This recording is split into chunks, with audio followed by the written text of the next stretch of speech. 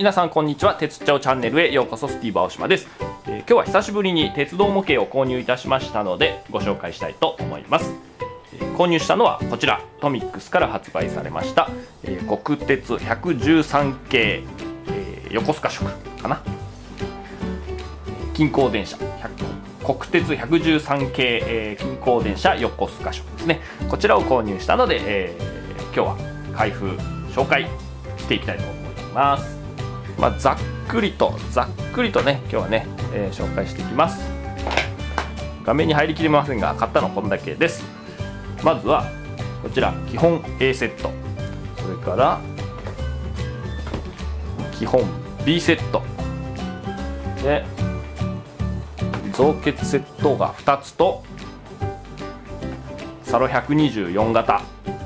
これだけ購入しました。じゃあ基本 A セットから開けていきたいと思います。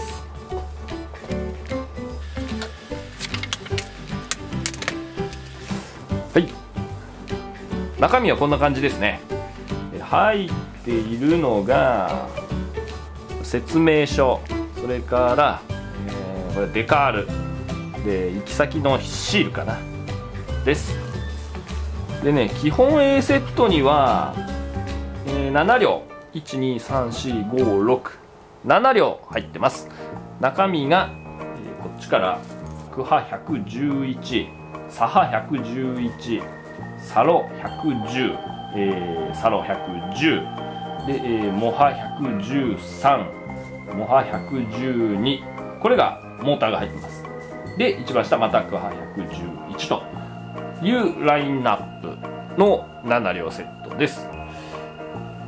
まあ、お気づきの方もあるかと思いますが基本 A セットでは、えー、いわゆるユニットが1ユニットしか入ってませんので、ね、7両セットでまあ一通りの形式は揃えられますが、まあ、実車として、えー、運用しようかなというふうに思うと7両のうちモーター車が2両っていうのはねまあ現実的ではあまりありませんからちょっとこれだけでは寂しいなという気がいたします、まあ、ですのでね、えー、まあ、実際にはこのような造血セットで、えー、ユニットを増やしていく必要があるのかなと思います。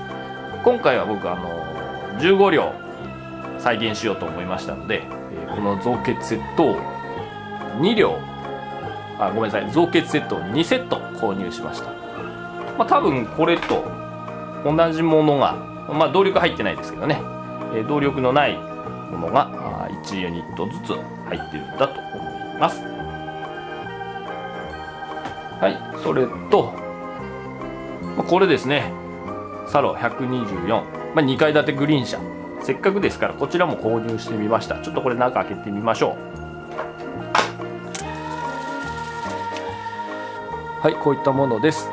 えー、実際は最後の方は確かこのねグリーン車1両がどっちだったかな。どっちかがこの2階建てグリーン車に1両ね、えー、組み替わってたと思いますのでせっかく今回再販されましたので、えー、購入をしてみました。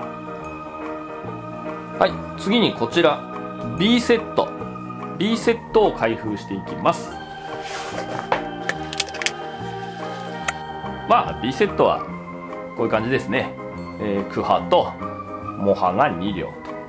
でこのパンタグラフのついている車両にモーターがついてます、まあ、ごくごくシンプルな4両セットですね。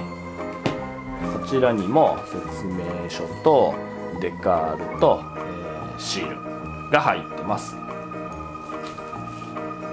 まあ、だから遊び方としては、まあ、この4両だけで遊んでもいいですし、えー、これにね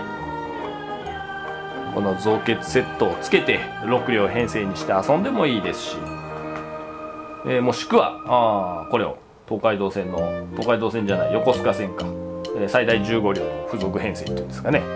まあに、え、くっつけて遊んでもいいということになります。あ言い忘れてましたがちなみにこの、えー、造血セットですけどもこれには、えー、デカールや、えー、シールは入っておりません。えー、こっちのね基本セット。基本セットのものを使ってくださいと、えー、ここに書いてありますから、まあ、これだけ買っても、まあ、これだけ買って遊ぶことはないと思いますが、えー、こういった転写シールと、えー、行き先シールはついてこないということだそうです。はいということで今日は、えー、113系横須賀色のご紹介でした。全部で購入した車両が、えー、サロ124も入れると16両になっちゃうのかな？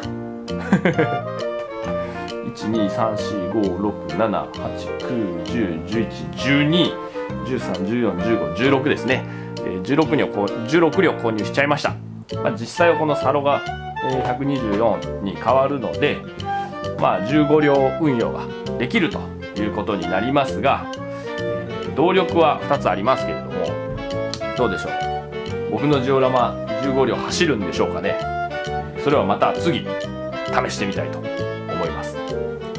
ということで今日は先日トミックスから発売されました国鉄113系近郊電車横須賀色の開封紹介でした。それでは